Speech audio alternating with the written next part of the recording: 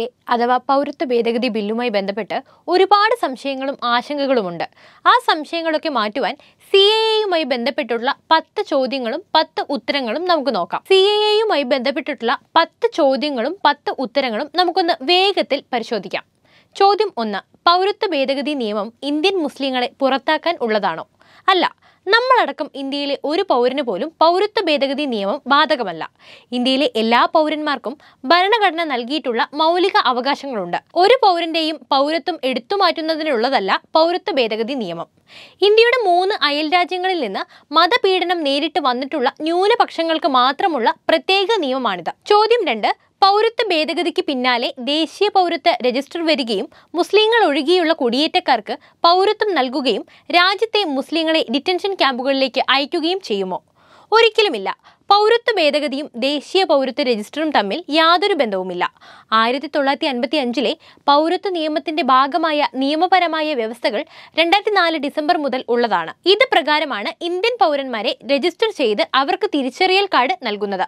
ഇതിനായുള്ള നിയമവ്യവസ്ഥകൾ കഴിഞ്ഞ പതിനഞ്ച് മുതൽ പതിനാറ് വർഷങ്ങളായി നിലവിലുണ്ട്.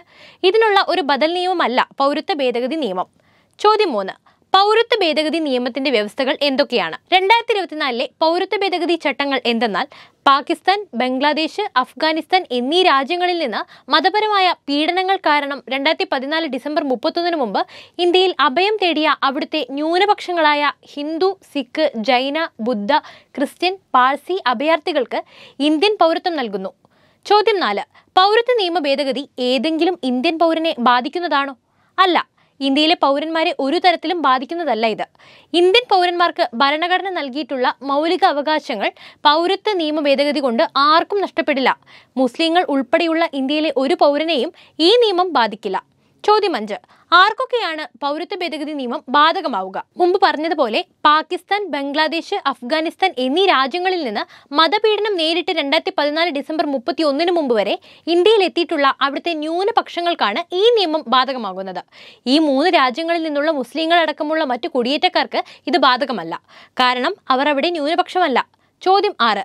ഈ മൂന്ന് രാജ്യങ്ങളിൽ നിന്നും വന്നിട്ടുള്ള ഹിന്ദു സിഖ് ബുദ്ധ ജൈന പാഴ്സി ക്രിസ്ത്യൻ മതവിശ്വാസികൾക്ക് നിയമം എങ്ങനെയാണ് പ്രയോജനപ്പെടുന്നത്?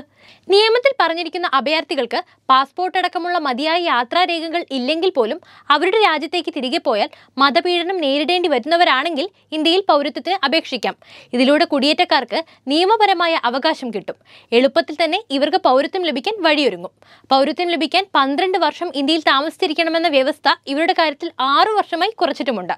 ചോദ്യം ഏഴ് പാകിസ്ഥാൻ അഫ്ഗാനിസ്ഥാൻ ബംഗ്ലാദേശ് എന്നീ രാജ്യങ്ങളിൽ നിന്നുള്ള മുസ്ലിങ്ങൾക്ക് ഒരിക്കലും ഇന്ത്യൻ പൗരത്വം ലഭിക്കില്ലെന്നാണോ ഇത് അർത്ഥമാക്കുന്നത്?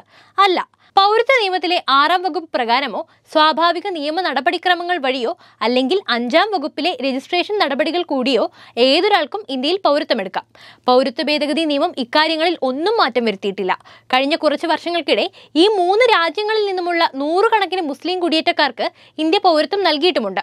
യോഗ്യരാണെന്ന് വ്യക്തമായാൽ ഭാവിയിലും കുടിയേറ്റക്കാർക്ക് അവരുടെ മതമോ മറ്റു കാര്യങ്ങളോ നോക്കാതെ പൗരത്വം കൊടുക്കും. രണ്ടായിരത്തി പതിനാലിലെ ഇന്ത്യ ബംഗ്ലാദേശ് അതിർത്തി കരാർ പ്രകാരം പതിനാലായിരത്തി എണ്ണൂറ്റി അറുപത്തിനാല് ബംഗ്ലാദേശുകാർക്ക് ഇന്ത്യൻ പൗരത്വം നൽകിയിട്ടുമുണ്ട്. ഇവരെല്ലാവരും മുസ്ലിങ്ങളുമായിരുന്നു. ചോദ്യം എട്ട്. ഇന്ത്യയിലേക്ക് അനധികൃതമായി കുടിയേറിയ മുസ്ലിങ്ങളെ പൗരത്വ ഭേദഗതി നിയമപ്രകാരം പുറത്താക്കുമോ? ഇല്ല. പൗരത്വ നിയമ ഭേദഗതികൾ എവിടെയും ആരെയും നാടുകടത്തുന്നതിനെ പറ്റി പറയുന്നില്ല. ആയിരത്തി തൊള്ളായിരത്തി നാൽപ്പത്തി ആറിലെ ഫോറിനേഴ്സ് ആക്ട് ആയിരത്തി തൊള്ളായിരത്തി ഇരുപതിലെ പാസ്പോർട്ട് നിയമം എന്നിവ പ്രകാരമാണ് ആളുകളെ നാടുകടത്തുന്നത് ഈ രണ്ട് നിയമപ്രകാരമാണ് ഇന്ത്യയിലേക്കുള്ള വിദേശികളുടെ വരവും താമസവും ഇന്ത്യക്കകത്തുള്ള യാത്രകളും പുറത്തു പോകുന്നതും നിയന്ത്രിക്കുന്നത്. അതിൽ മതമോ രാജ്യമോ പരിഗണിക്കാറുമില്ല. ഇന്ത്യയിൽ അനധികൃതമായി താമസിക്കുന്ന വിദേശികളെ നാടുകടത്താനാണ് ഇത്തരം നടപടികൾ സ്വീകരിക്കുന്നത്. ചോദ്യം ഒമ്പത്. നിയമത്തിൽ പറഞ്ഞിട്ടുള്ള മൂന്ന് രാജ്യങ്ങൾ കൂടാതെ മറ്റ് രാജ്യങ്ങളിൽ നിന്നുള്ള മതപീഡനം നേരിടുന്ന ഹിന്ദുക്കൾക്ക് പൗരത്വ ഭേദഗതി നിയമപ്രകാരം പൗരത്വത്തിന് അപേക്ഷിക്കാനാകുമോ? ഇല്ല. ഇങ്ങനെയുള്ളവർക്ക് ഇന്ത്യൻ പൗരത്വം നേടാനായി നിലവിലെ നടപടിക്രമങ്ങൾ ഉപയോഗിക്കണം. ആയിരത്തി തൊള്ളായിരത്തി അൻപത്തി അഞ്ചിലെ പൗരത്വ നിയമത്തിലോ പുതിയ പൗരത്വ ഭേദഗതിയിലോ അവർക്ക് പ്രത്യേക പരിഗണനയൊന്നും നൽകുന്നില്ല. ചോദ്യം പത്ത്. വംശം ലിംഗം രാഷ്ട്രീയ പാർട്ടികളിലോ സാമൂഹിക സംഘടനകളിലോ അംഗത്വം ഭാഷ ഗോത്രം തുടങ്ങിയ വിഷയങ്ങളുടെ പേരിൽ വിവേചനമോ പീഡനമോ നേരിടുന്നവർക്ക് പൗരത്വ ഭേദഗതി നിയമം സംരക്ഷണം നൽകുന്നുണ്ടോ? ഇല്ല. മുമ്പ് പരാമർശിച്ചിട്ടുള്ള രാജ്യങ്ങളിൽ നിന്ന് മതപരമായി പീഡനത്തെ തുടർന്ന് ഇന്ത്യയിൽ എത്തപ്പെട്ടവർക്ക് വേണ്ടി മാത്രമാണ് പൗരത്വ ഭേദഗതി. ഏതെങ്കിലും തരത്തിൽ വിവേചനമോ പീഡനമോ നേരിടുന്ന മറ്റു രാജ്യത്തു നിന്നുള്ളവർക്ക് പൗരത്വത്തിന് ആയിരത്തി തൊള്ളായിരത്തി അൻപത്തി അഞ്ചിലെ പൗരത്വ നിയമപ്രകാരമുള്ള നടപടികളിലൂടെ അപേക്ഷ സമർപ്പിക്കാം. പൗരത്വ ഭേദഗതി നിയമത്തിനെതിരെ രാജ്യവ്യാപക പ്രതിഷേധം ഉയർന്ന പശ്ചാത്തലത്തിൽ പൗരത്വ നിയമ ഭേദഗതിയുമായി രണ്ടായിരത്തി പത്തൊമ്പതിൽ ജനങ്ങൾക്കിടയിൽ ഉയർന്നു വന്ന സംശയങ്ങൾക്ക് കേന്ദ്ര സർക്കാർ നൽകിയ ഉത്തരങ്ങളാണ് ഇവയെല്ലാം.